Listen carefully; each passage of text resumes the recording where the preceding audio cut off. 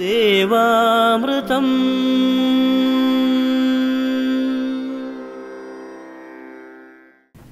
പതിവ് പോലെ ആദ്യമായി ഗുരുമാർഗം. നമുക്ക് സ്വാമി സാന്ദ്രാനന്ദയുടെ വാക്കുകൾ ശ്രദ്ധിക്കാം. ഓം ശ്രീനാരായണ പരമഗുരവേ നമ. ഗുരുമാർഗത്തിലേക്ക് ഏവർക്കും സ്വാഗതം. ശ്രീനാരായണ ഗുരുദേവന്റെ വളരെ പ്രസിദ്ധമായിട്ടുള്ള ഒരു കൃതിയാണ് ശിവശതകം. ശിവശതകത്തിൽ ധാരാളം അദ്വൈത വേദാന്തപരമായിട്ടുള്ള ആശയങ്ങൾ ഉണ്ട്. അതോടൊപ്പം തന്നെ ഒരു മനുഷ്യന്റെ ആത്യന്തികമായിട്ടുള്ള ലക്ഷ്യം എന്തായിരിക്കണമെന്ന് ഗുരു അവസാനത്തെ പദ്യത്തിൽ സൂചിപ്പിക്കുന്നുണ്ട്. കുളിർമതി കൊണ്ട് കുളിർത്ത് ലോകമെല്ലാം ഒളിതിരളുന്നൊരു വെണ്ണിലാവു പൊങ്ങി.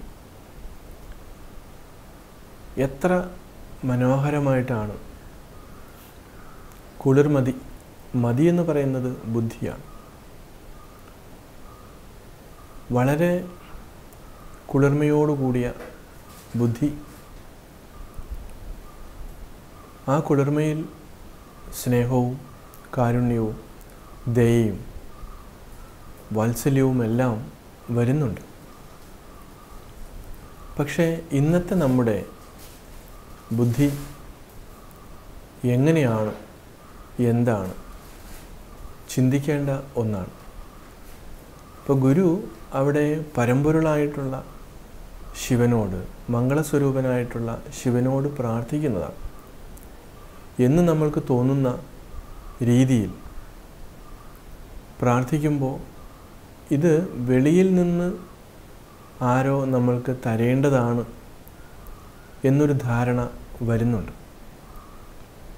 പക്ഷേ അതിന്റെ സൂക്ഷ്മമായിട്ടുള്ള അഥവാ അതിന്റെ ആന്തരികമായിട്ടുള്ള അർത്ഥം അങ്ങനെയല്ല വരുന്നത്. നമ്മുടെ ബുദ്ധിയെ ശരിയായ രീതിയിൽ പാകപ്പെടുത്തി എടുക്കേണ്ട ഉത്തരവാദിത്വം നമ്മൾക്ക് തന്നെയാണ് അവനവന് തന്നെയാണ്. ഇപ്പോൾ കുളിർമതി കൊണ്ട് കുളിർത്ത് ലോകമെല്ലാം ഒളിതിരളുന്ന വെണ്ണിലാവ് പൊങ്ങി.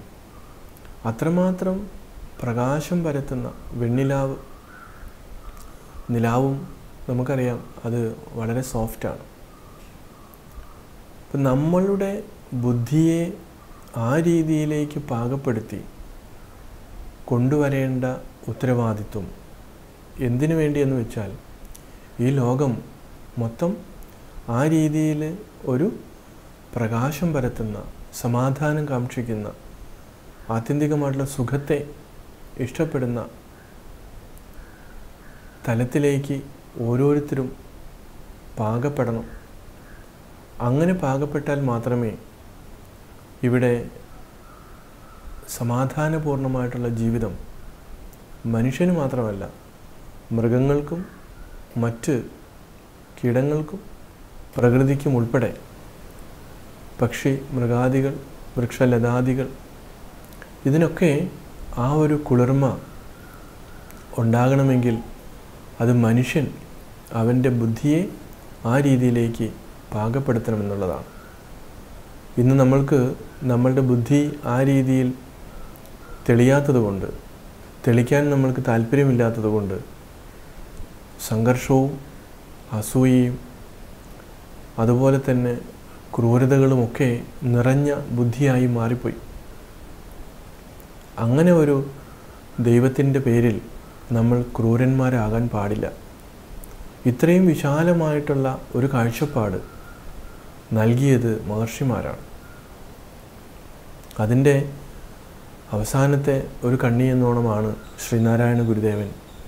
ഇവിടെ മാനവരാശിയോട് വളരെ ലളിതമായി സൗമ്യമായി ഈ ബുദ്ധിയുടെ തെളിച്ചത്തിലേക്ക് ബുദ്ധിയുടെ കുളിർമതിയിലേക്ക് നമ്മെ ആനയിക്കുന്നത്. ഗുരുവിന്റെ ഓരോ ശ്ലോകങ്ങളും നമ്മൾ എടുക്കുമ്പോൾ അത് അതിൽ പരിപൂർണമായിട്ട് ആശയത്തെ സന്നിവേശിപ്പിച്ചിരിക്കുന്നത് കാണാം. ആ ഒരു ശ്ലോകത്തെയോ അതിൽ ഒരു വരിയെയോ ഒരു വാക്കിനെയോ എടുത്ത് നമ്മൾ ധ്യാനത്തിലേക്ക് കടക്കുമ്പോഴാണ് അതിന്റെ ആഴവും അതിന്റെ പരപ്പും അതിന്റെ ഗൗരവവും ഉൾക്കൊള്ളാൻ പറ്റുന്നത്. വെറുതെ അത് മനഃപ്പാഠം പഠിച്ച് ചൊല്ലുമ്പോൾ അത് യാന്ത്രികമാകുകയാണ്. യാന്ത്രികമാകുന്നതല്ല ജീവിതം. മറിച്ച് അതിന് അതിന്റെ അർത്ഥതലങ്ങളിലേക്ക് നമ്മൾക്ക് അതിന്റെ സൂക്ഷ്മമായിട്ടുള്ള ഭാവങ്ങളിലേക്ക് നമ്മൾക്ക് ഇറങ്ങിച്ചെല്ലാൻ പറ്റണം. അതിന് നമ്മുടെ ബുദ്ധി മാത്രമാണ്